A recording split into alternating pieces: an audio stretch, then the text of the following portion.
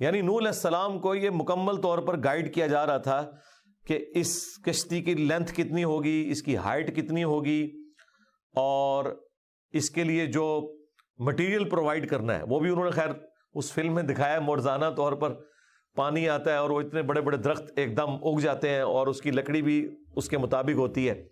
बहरल खैर ये मुरजाना ही था एक मामला। दावा है, इल्मी किताबी होने का और हवाले दिए जा रहे हैं हॉलीवुड फ़िल्मों के। फ़िल्मों से मोजात साबित किए जा रहे हैं। वाह, इल्मी किताबी वाह।